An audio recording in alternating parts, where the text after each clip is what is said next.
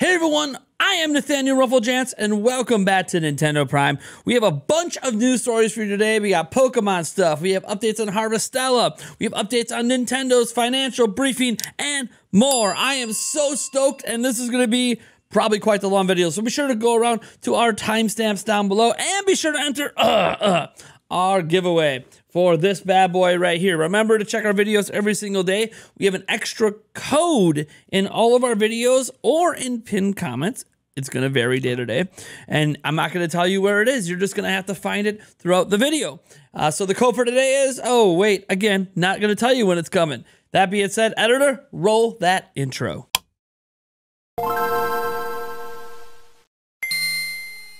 Our first bit of news is going to actually be Nintendo's financial briefing. We have a ton of information to go over. The first of which is that the Nintendo Switch has sold 111.08 million units to date. Now, this is the first quarter financial results of the current fiscal year, so March, April, and June. And yeah, that puts it really only behind PlayStation 4 and Game Boy coming up next. Not really only, but those are the next things up. Uh, I believe PlayStation at 117 or 114. I don't know, something like that. PlayStation 4 is up there, and Game Boy at 118 million. Likely going to pass both of these by the end of this current fiscal year. And one thing I want to jump into right away is the game sales because we have a massive list of game sale updates. And you know what? Let's just jump right into the list and you guys enjoy this gameplay. So the Mario Kart 8 Deluxe is at 46.82 million. It gained 1.49 million in the quarter. Animal Crossing New Horizons has 39.38 million. It gained 740,000 units this quarter. Super Smash Bros. Ultimate is sitting there at 28.82 million. It gained 650,000 units this quarter. The Legend of Zelda Breath of the Wild is at there at 27.14 million. It sold 590,000 units this quarter. Pokemon Sword and Shield is sitting there at 24. 5 million units. It gained 230,000 units this quarter. Super Mario Odyssey is at 23.93 million units. It gained 430,000 units this quarter. Super Mario Party is at 18.06 million. It sold 280,000 units. Pokemon Brilliant Diamond and Shining Pearl are sitting there at 14.79 million units. It sold 140,000 plus units. Pokemon Let's Go has sold 14.66 million. It gained 130,000 units in sales this quarter. Ring Fit Adventure is sitting there at 14.54 million. It sold 450,000 units this quarter, and that actually rounds out the top 10. But we have updates on other games as well. Nintendo Switch Sports has sold 484 million total units, and it only released in this quarter. Kirby and the Forgotten Land, which actually technically released at the end of last fiscal year, has 4.53 million units. It gained 1.88 million units in sales this quarter. Mario Strikers Battle League also debuted at 1.91 million million units. Now, we have some notes on all of this, so we're going to dive into this. And uh, Mario Kart sales, funnily enough, are actually a million away from being more than the entire population of the country of Spain. That's pretty insane. At 4.53 million units, Kirby and the Forgotten Land is the second best selling Kirby game of all time and is also selling faster than any prior Kirby game. It should actually become the best selling before it's even been out for one year. The only game ahead of it is Kirby's Dream Land, and that sold 5.13 million units. Switch's retention rate is actually really, really good. Over the last calendar year 12 months, 104 million different Nintendo Switch units fired up at least once to play a game. While Nintendo saw year over year declines of around 4.7% with sales, reality is that they think some regions still don't have enough Switches and that their semiconductor issues will improve heading into the fall. Also, they do plan to use more expensive methods to get holiday shipments out to stores to make stock as full as possible. And I basically, this is just my interpretation, I read this as they're likely going to be flying units into various countries. And they have done this before. They did this after Switch's launch when they were struggling to get enough units out there. Uh, so, yeah, they're probably going to be flying them in to make sure units are plentiful for the holidays. Despite the year over year decline, Nintendo has not adjusted their yearly projections, which actually means this was expected and already calculated into projections they made to start the fiscal year. So really it's kudos on Nintendo for correctly projecting where their sales and stuff are going to be so they don't have to keep updating their projections. And yes, Nintendo has updated their projections. Last fiscal year, they had to keep updating and their projections to make sales less and less. This year, they seem to be a lot more conservative with their projections, and thus their projections are still right on slate to be what they told investors at the end of last year. So, look, that's a lot of data to digest. You can get into the gritty numbers. Nintendo made overall profits, of course, like they've been doing the entire Switch generation. They talked briefly about how the Switch OLED is not as profitable for them as the base Nintendo Switch and the Switch Lite, something to do with components just being more expensive and being even more and more expensive right now when there's shortages. So, Switch OLED is still profitable, just the margins aren't as great as they are on the other platforms. That probably explains why they're selling it for $350. I know a lot of us kind of view it as that doesn't make sense to us, but we're also used to companies like Sony and Microsoft selling systems at a loss to get ahead in the market. Nintendo doesn't like to do that. I think the last time they did that was when they slashed the price of the Nintendo 3DS. Uh, and they did that because the sales were not going well. Well, the sales for Switch are going really well, so they're not going to do that here. I don't know. These sales look great, and uh, I want to get into our next story. A brand new game was announced today called All Elite Wrestling Fight Forever. And here's a little 30 second thing that doesn't really show you much. It's made by THQ Nordic and Yuke's. The gameplay reveal is happening on August 12th. Notably, the producer for the game actually worked on N64 wrestling games No Mercy, NWO, WCW World Tour and games gamers basically really felt that those were good games. Now we have a couple screenshots to share with you guys. It's definitely a more arcadey game, so kind of keep that in mind that we're not looking at this being a simulation wrestling game, but I think an arcadey style game works for wrestling. I know some people argue the visuals aren't great, but obviously for us Nintendo Switch owners, they're the kind of visuals we come to expect, and I think they actually look pretty good, and it's going to look really good on Switch. So, hey, you know what? All Elite Wrestling is a brand new game, and we don't know when it's coming. It just says coming soon. So, soon, I think, implies at least this holiday but we'll probably find out on August 12th when they do the gameplay reveal. So, unless you've been living under a rock today, you know that there was a Pokemon Direct. And if you didn't know there was a Pokemon Direct, let me be the first one to tell you yes, the Pokemon Company presented a Pokemon Presents today. And I'm not going to go over all the news from it because, frankly, the only stuff we really care about around here are updates to Pokemon Scarlet and Violet. And Thankfully, not only did I watch and live react to it, which you can go check that out, I also have the official details from the Pokemon Company right now that I can actually read through and give you a full recap. So, first off, Let's get into that while you guys are watching the footage. Welcome to Paldea. Players will start their adventure in the Paldea region, a land of vast open spaces dotted with lakes, towering peaks, wastelands, and mountain ranges. Players will find lots of people and Pokemon living together in a variety of locations, ranging from a farming village with bountiful harvests to a port town with a bustling marketplace. There are also Pokemon living in treetops, rivers, and other locations in the wilderness.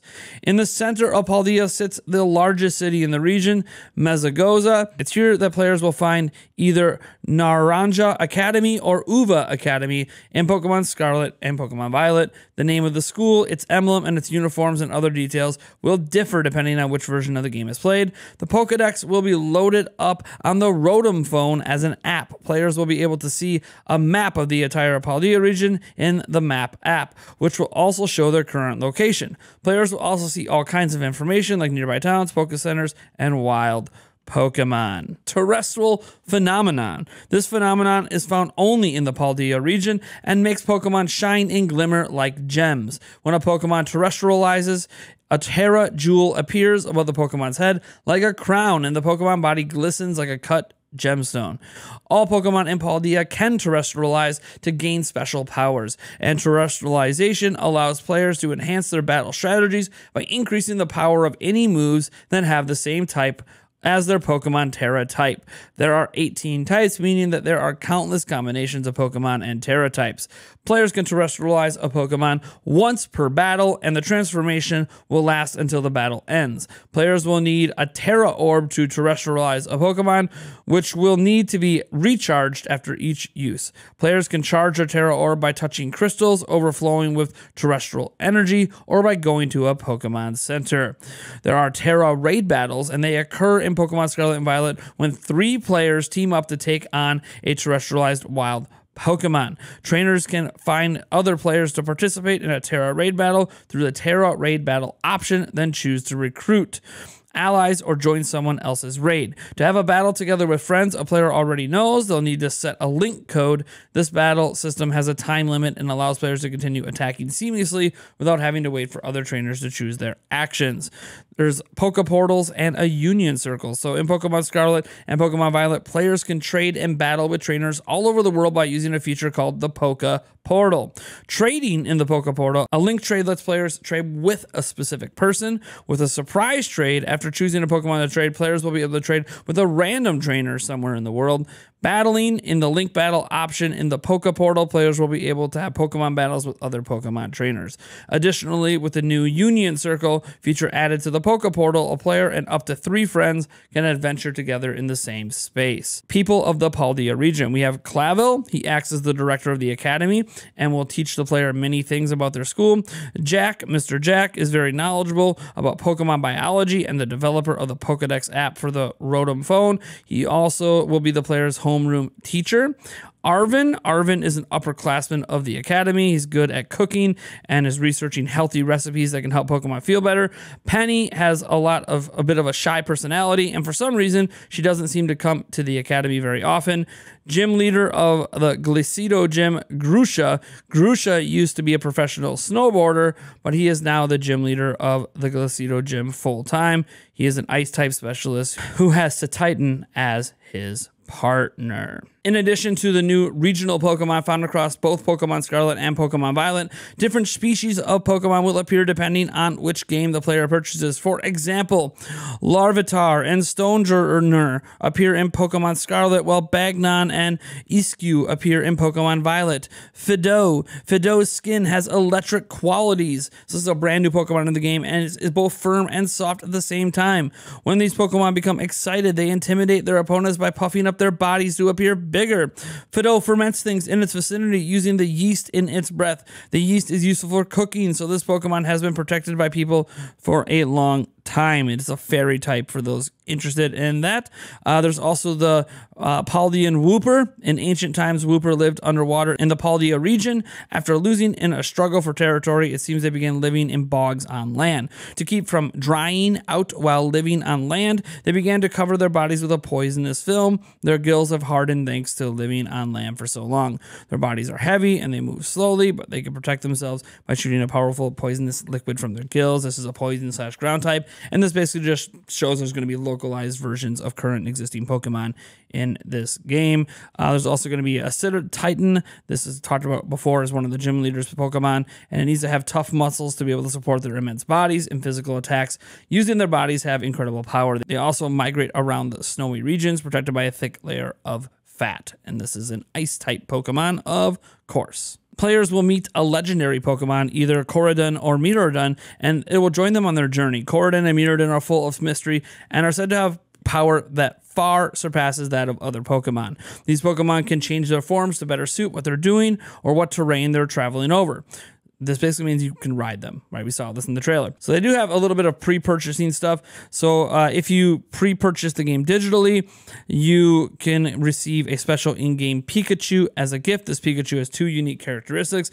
It knows the fly move, which it normally cannot learn, and its Tera type is flying. Well, that makes some sense there. Players can receive it by choosing to get it via the Internet Mystery Box gift feature of their game up until Tuesday, February 28th of 2023. Again, that's only if you pre-order the game digitally. If players download the digital version of Scarlet and Violet from the Nintendo eShop by Tuesday, they also can receive a serial code for the adventure set, which gives you 10 potions, 5 full heals, 3 revives, 3 ethers, 1 rare candy, and 1 nugget. The double pack bonus also has a, a, a, bonus in there as well. Trainers will receive two codes, one per game, that reward them with 100 Pokeballs. So that's obviously a lot of information to, digest. I will link you down to the official uh, website for these games if you would like to dive deeper. Obviously, new screenshots and all that, but that's the basis of information today. It's also notable that it does appear that gyms do not scale. So they note that you can actually do gyms out of order. There's three different stories in this game, but gyms don't scale. And that is going to be very interesting. And we're going to talk about that further on tonight's podcast. You guys remember that Square Enix exclusive announced at the Partner Showcase Nintendo Direct back in June? Yeah, we have a huge update on that and it's on the official blog. So, you know what? Let's head on over there. So, as it says, it says take a fresh look at Harvestella. And we're going to see screenshots and a whole bunch of information here. Uh, so here's kind of a, a, nice giant wide look at this particular screenshot, looking out into the overworld with this giant plant looking thing growing. And it says In June, we revealed Harvestella, a new life simulation RPG that launches November 4th, 2022 for Nintendo Switch and Steam. We gave you a close look at the game, showcasing the game's many depths for farming, crafting, and socializing to fast paced strategic combat. Even so, we know you want to know more, so we thought we'd give you a new look at the game. Read on, which I'm about to do, and we'll reveal one of the visually beautiful towns and a key resident. Take a look at some of the seasonal crops you can cultivate, a new job to take on monsters, and more. For that, over you can recap stuff we already know. The the new game is a life simulation RPG. It lets you enjoy daily life, socializing, and adventure. And then venturing in daily life, you can spend a relaxing day farming, fishing, or raising livestock before heading to town to socialize and build your relationships with residents. If you want to test your combat skills, you can step into the dungeon to take on hordes of monsters with a variety of weapons and jobs. Whatever you do, time passes through the seasons spring, summer, autumn, and winter. But between each one is a fifth season, Quietus. During this time, crops wither and die, and a deadly dust keeps people trapped indoors. You need to plan around the changing seasons and the grim inevitability of quietus as you attempt to solve the mysteries behind the seasons of death. So, Town of Spring, Nemea. Welcome to Nemea. Very beautiful, the cherry blossoms. I'm loving it. I really think that's a gorgeous look. In this beautiful town, the flowers bloom all year round due to the influence of a nearby spring Seaslight. All right, once night falls, the town shows a different side. Ooh, look at the lights in the buildings. I like it. Cherry blossoms dance against the night sky in a dreamlike display. Looks very pretty. Despite its beauty, there is trouble in the town of Nemea. A giant egg has appeared on the spring Seaslight, one of the giant crystals that governs the seasons. Ever since, unfamiliar monsters have been flying into town and attacking the residents. When you visit Nemea, you become involved with the investigation of the Seaslight, alongside Asyl, a member of Argus Brigade that protects the town. You can see the spring Seaslight from the observation deck on in Nemea. So this must be the spring right here. Your group sets out to investigate the Seaslight. But what will you find waiting for you? Who knows? Resident of Nemea, Istina. Next, we'll introduce you to one of the memorable characters you'll meet in this blooming place, Istina. Istina is a teacher who lives together with the children of the town's orphanage. So there's an orphanage in the town. Nice. She's intellectual, quiet, and rarely displays her emotions openly. She enjoys reading about different places in the world and often reads aloud to the children. This is how she spends her days, as she's beloved by the townspeople. However, it's said that she only arrived in Nemea a few years ago. Upon meeting the protagonist, she must confront the past she's kept hidden. So here's some jobs here. We got a, uh, an adventure job. When it comes to battle, you have access to multiple jobs, which define the weapons and abilities you can use in combat. Last time we showed you fighter, mage, and shadow walker jobs. This time we're revealing the job Skylancer. This job uses a spear and excels at physical attacks with wind attributes because it learns many wide range skills that take advantage of the spear's reach. The Skylancer is very useful when facing multiple enemies. When you recruit a character with who has a certain job, the protagonist will also be able to use that job. In the screenshot above, you can see how working with Asyl has unlocked the Skylancer for use. Socializing character stories. Characters that can join you in battle as allies and other important characters each have their own character story. I like that. These stories focus on the problem that each character will face. As you progress through the character story, learning more about each character's thoughts and feelings, your closeness to them will increase. This grants a range of benefits in combat, and you may even receive rewards. Daily life, special spring produce. Farming is one of many daily life activities you can do in Harvestella. By planting crops and tending to them diligently, you'll be able to harvest them and either sell them or use them yourself in crafting and cooking. Spring crops, some produce products. Mm, some produce can be harvested all year round, but some kinds of fruits and vegetables can only grow during specific seasons. Here's a glimpse at some spring crops you can cultivate. It looks like a tomato there, the Nemean tomato. We have the Wisty peach. We have the cucumber, a cucumber, it's funny, um, a straw buddy instead of a strawberry. Uh, spring cuisine. These crops can be used as ingredients in mouth-watering meals. You look at some of them. Apologies if this gets your stomachs rumbling. I'm on a diet, so it kind of does. We have the Nemea bolognese. Uh, we have the peach rose mousse. Uh, we have the zucchini and mince sandwiches, strawberry shortcake. Of course, it's funny they use strawberry shortcake there. Want to be well, what are the strawberries called again? Hold on. The strawberries are called straw buddies. So, wouldn't it be the straw buddy shortcake? Anyways, uh, of course, there are many more types of spring produce you can grow and plenty more meals to make. But to publish more pictures of food would just be cruel. Yes, it would. Thank you. Don't ruin my diet. Daily life fishing. Fishing's another way to be happily while away hours in Harvestella. You'll be able to do it when you obtain a fishing rod. Find a fishing point and you can cast your line and catch some fish. Just as with crops grown on your farm, you can ship fish for money or keep them and use for cooking. What you can catch depends on your location and other conditions. Perhaps you may even catch something other than a fish. You can even upgrade your fishing rod, which will let you catch even rarer fish. And see an ever sweet fish caught. Daily life with shipping. Seen some new screenshots here. Uh, you can earn money in Harvestella by shipping fruit and vegetables that you harvest from your fields. Okay, seeing some other stuff here. You can use machines that you've crafted to create processed foods, which will ship an even higher price. We hope you enjoyed this brief look. So, yeah, that is pretty, pretty awesome. And honestly, the more and more I see of Harvestella, the more and more I'm really liking this. We've seen a lot of life sim games in the past, but hey, this one is console exclusive on Switch with no announcement of it going anywhere else. So enjoy. It's a uh, something to look forward to for people looking for more life simulation news. That being said, I've held your attention long enough. I want to thank you guys for tuning in, and if you happen to stick around this long, the code for today is SNAP. S N A P. All right? Enjoy your extra entries in the giveaway. Catch you guys later. Peace out.